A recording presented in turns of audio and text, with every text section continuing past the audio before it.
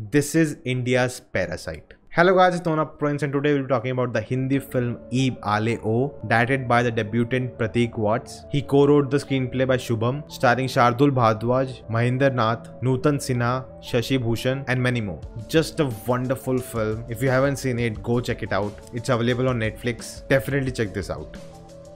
It is just a simple and ridiculous story. It's about a young migrant worker in New Delhi who gets this unusual government job of keeping away monkeys from public buildings. Basically, that's the whole story. But it's not just that there's a lot of things in the film which we'll discuss about and i'm not calling it india's parasite to say you know it has a similar story or something like that it has a similar thing of class divide but why i called it that is because you know how entertaining this film is as well as how deep this film is how it explores these characters we never knew existed there are deeper meanings there's there's a lot of things happening in the film with the entertainment value being a satire and that's the reason i'm calling it india's parasite in that sense our protagonist anjani is a very unlikable character he's shy he doesn't have this survival instinct. He has this male ego. He has grown in the male privilege. He's overconfident that he can do anything, but he cannot at all. But when the pressure strikes really hard, his brain starts to work and he does something. But what he thinks of is not very intelligent move. We also see, you know, when he dresses up as a langur, he's wearing a mask and suddenly he's an extrovert. He has all this excitement. He doesn't care about anyone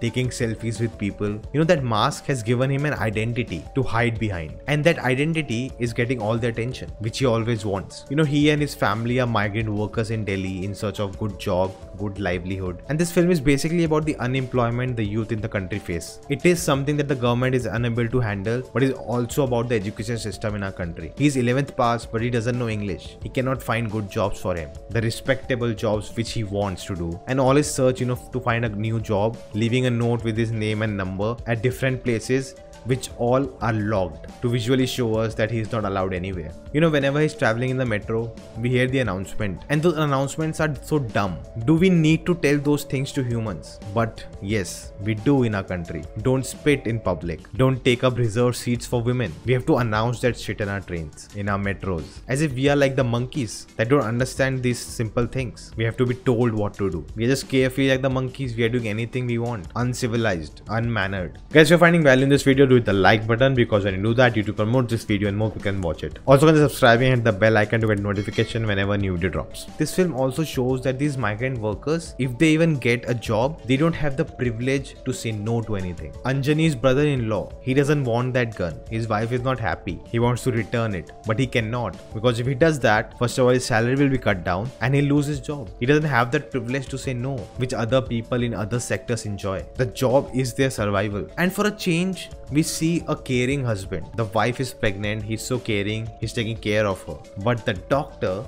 She's generalizing it. She's scolding him. Oh, you are just pathetic men, cannot take care of your women. Why you want a child? And we can clearly see the privilege she's talking from. Before that, you know, she asks what medicines are you taking? Why you are not taking the other medicine? You know, she scolds her. We are giving you medicine, why you're not taking it? But you can clearly understand they are not taking the other medicine because they cannot afford it. It's too expensive. But she's not realizing it that some people cannot afford those expensive medicines. Delhi as a place is used as a character. You know, the parliament area, Rajghat, India Gate, they are so huge, they are so spacious, but they have no place for these people. And in contrast, the character's house is so small, it's so compact that three people cannot sit together. When he leaves for his job, then he crosses a train track, then he gets into the metro to go to this place which is great, big, and then he comes back in that metro, then he walks, cross the train track and reaches home. Very similar to Parasite, you know, where that family lived and how they traveled and went to this big house. And that night when it's raining and th- there's a flood, they come back from that big house and they're always going down and down and down and down. I really liked how culturally they explored that part of Delhi. For someone who has lived in that place, it's very well depicted. You know, the Republic Day parade, the India Gate, different festival, different marches of different religions, all very well covered. Then of course there's this class struggle. There's this dialogue used many times in the film. अरे हम तो गरीब हैं हम गरीब लोग। It's use several times in the film and the reply is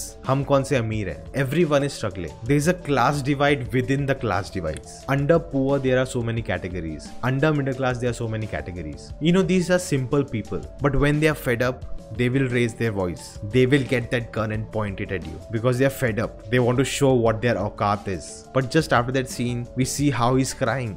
Like a little child because that's not him. The gun does give him power, but they are not looking for power. They are just looking to survive. And coming to the monkeys, which were great part of the film, I just loved them. The way they shot it, I cannot believe how they did it. And we see, you know, people worship them, but they also want to get rid of them because they are a nuisance. But when someone who's hired to do it does his work, and on that route a monkey died, he's beaten to death by the mob. Basically, that's what the society has constructed an area for these people that they have to work for them, but according to them, in their limits that they cannot cross. And at the end, we see that he's losing his sanity, he's losing himself because to survive, you cannot be that naive, you cannot be yourself, you have to become clever, you have to outsmart others to survive because that's what life teaches us. At the end, with that evil mask before him, he has to become evil to survive. He has to let go all the humanity in him. So, guys, those were my thoughts on such a great film. If you enjoyed this, hit the thumbs up button, share this video, let me know comments your thoughts. If you haven't subscribed yet, check out the videos if you like them too. Do consider